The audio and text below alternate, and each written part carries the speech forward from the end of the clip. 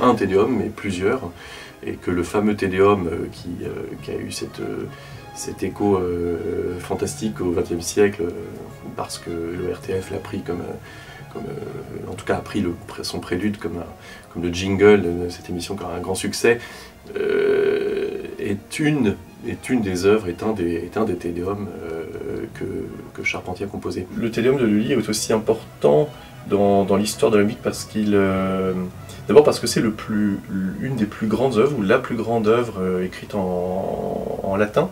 Je crois qu'il a fait 1233 mesures, c'est une œuvre gigantesque.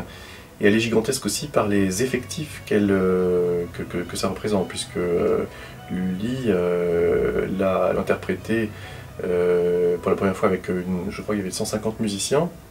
On l'a entendu ensuite euh, avec des effectifs encore plus importants jusqu'à euh, l'interprétation de, Marin Marais donc au XVIIIe siècle où il y avait 300 musiciens. La chapelle royale du, du château de Versailles, je, la connais depuis 20 ans pour y avoir fait moult concerts. et les timbres de cette musique, et les équilibres entre l'effectif euh, vocal euh, soliste, euh, petit chœur et, puis grand chœur, les rapports avec l'orchestre.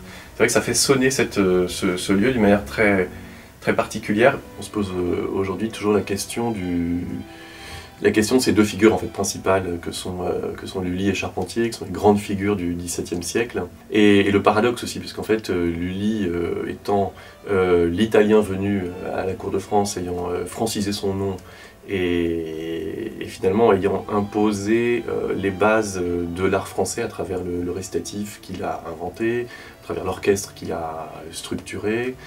Euh, et d'un autre côté, Charpentier, euh, qui lui est musicien français, mais finalement qui a travaillé avec Carissimi et, qui, nous, voilà, qui nous lègue les plus belles pages de musique française totalement inspirées de l'art italien. Donc on est, on est avec ce, paradoxe depuis, depuis, trois, ou, depuis trois siècles, euh, qui est, qui est passionnant, et je crois qu'on est toujours curieux d'essayer de comprendre le rapport de l'un avec l'autre.